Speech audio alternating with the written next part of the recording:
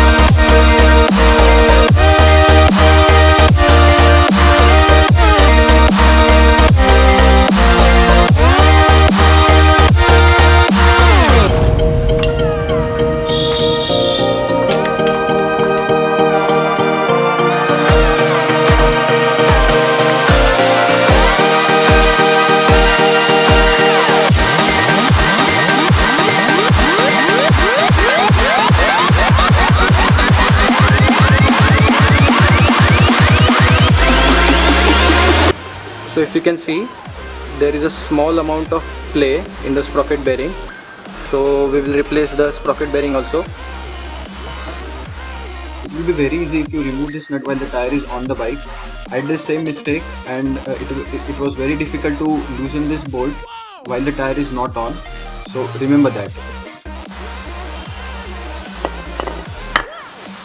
Now as we completely remove the rear sprocket assembly from the bike, it is a very good time that you can thoroughly clean this. So we will completely clean this uh, rear sprocket and hub assembly before we remove the bearing.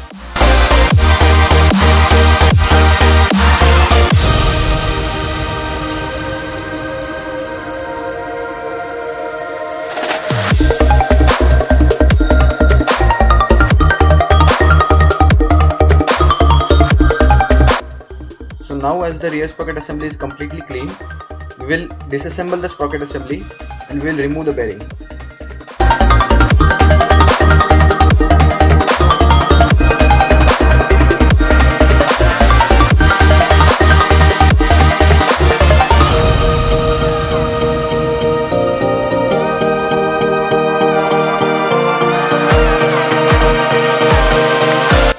We have to remove this circlip before we can press the bearing out.